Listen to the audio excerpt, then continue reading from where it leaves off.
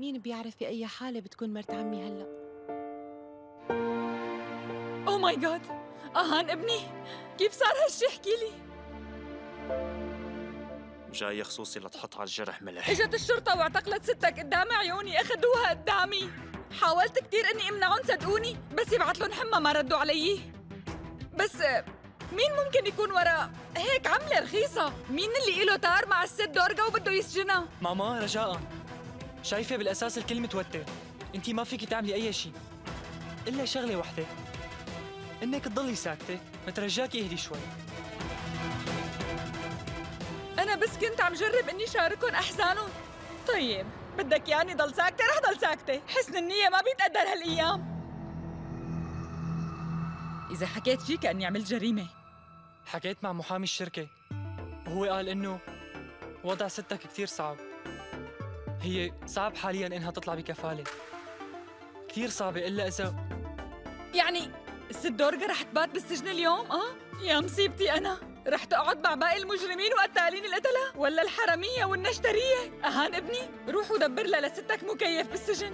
هونيك كتير شوب وفي برغش كمان. كيف ممكن الواحد يكون عديم إحساس لدرجة إنه يسجن مرة كبيرة؟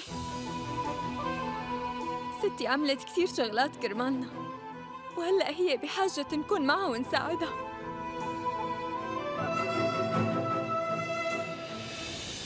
أخي لوين رايح؟ أنا ما رح خلي هالمرة تربح بس أخي أه أه مين هي؟ شو قصده؟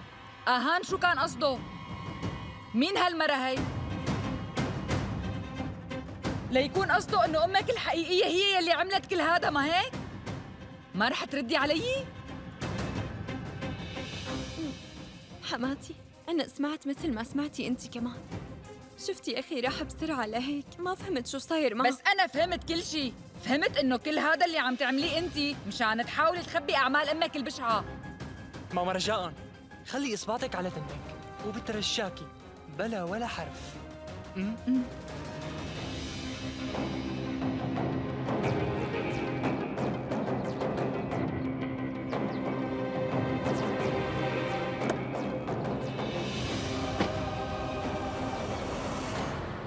انتي؟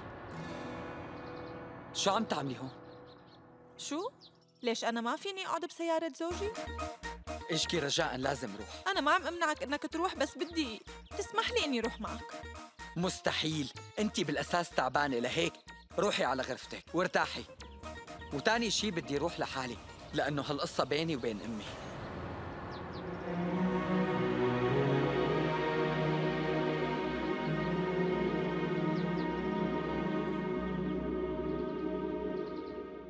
حطيت لي جهاز تعقب بس أنا كيف بدي أعرف وين بتكون وشو عم تعمل؟ بعدين أنا بعرفك منيح. هلأ بدك تروح تقعد تتخانق مع شي حدا بدل ما تطالع ستك بتقعد أنت محلها لهيك خليني أروح. إيش كي اسمعيني أنا ماني ولد وماني غبي كمان. بس أنت متهور. وما بتعرف شو ممكن تعمل أنت ومعصب وكمان. هي قضية شرطة. صح أنا ما بحب خاطر بس مو لما تكون القضية بتخصك. اشكي لو سمحتي مات عندي. أنت ما تعنت ما بتوثق فيني يعني. هي مو عيلتي كمان؟ أكيد إيه. شفت؟ هاي عائلتنا سوا مو مشاكلك لحالك. رجاء خليني. أصلا ما عندك خيار تاني. أنا هلأ بالسيارة وما رح أنزل منها وتأخرنا خلينا نمشي بسرعة. يلا. أنا أخيرا صار عندي الفرصة لصلح سوء التفاهم اللي صار بينك وبين أمك. عم إدعي وصلي كل شي يكون منيح.